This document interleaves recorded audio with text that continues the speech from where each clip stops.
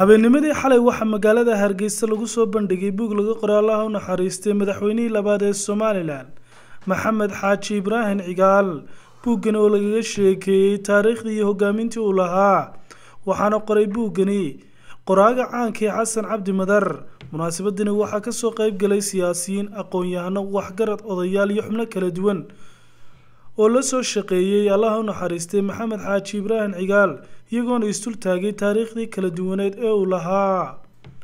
Ugu horeyn halkaasi waxaa ka hadlay qoraaga buugga xasan cabdi madar oo faahfaahin ka bixiyey ujeedada buuggan u qoray. Isagoo ka hadlayna wuxuu yidhi waa run waqti badan buu qaatay.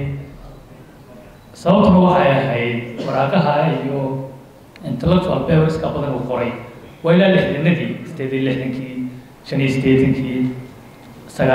koob iyo sagaashan saddex. Saas uu soo soco xilliyo kala duwan buu qoro qaarkood waa labaatan bog meelaha qoraalada qaarkood. Bal in meel la isugu keeno wixii laga baran kara in laga barto waxna lagaga daydo inuu hogaamiye ahaa way oogeen runtii.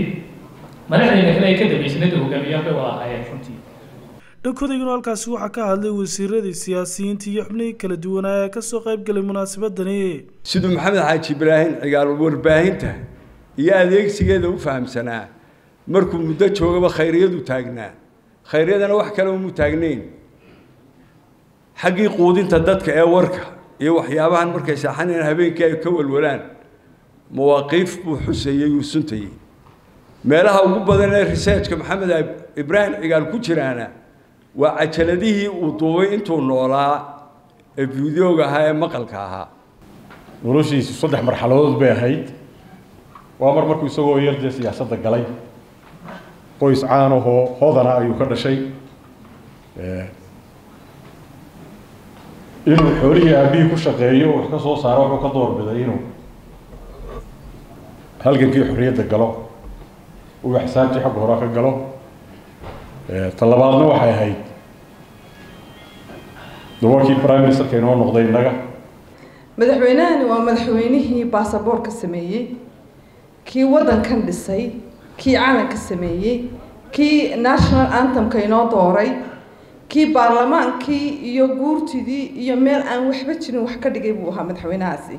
Marka horta taariikhdiisa iyo footprint marka la yidhaahdo ama raadkiisu raad aada iyo aada wax ku-oo leh oo aynu aada iyo aada ugu mahadinay weeye buuggan marka aad aragto waxaad arkaysaa madaxweynahaasi siyaasi un muu ahayn. Weliba siyaasi dean of politics of somalia waa. Hoggaanka really haddaad eegto taariikhda madaxweyne ina soo maray oo sidiisa u ballaaran horta ma jirin baan u qabaa maxamed xaaji ibraahim isagoo aan baahnayn oo iska raaxsan lahaay caylad og tahay tijaarada ka dhashay wuxuu xoolihii waalidkii waxay ku dhan ku baabiyey.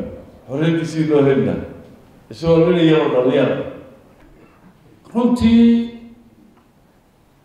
waxaynu siinaynaa odhan karnaa wuxuu ahaa ninkii ummadda reer somalilan maanta qaabka ay u nooshahay.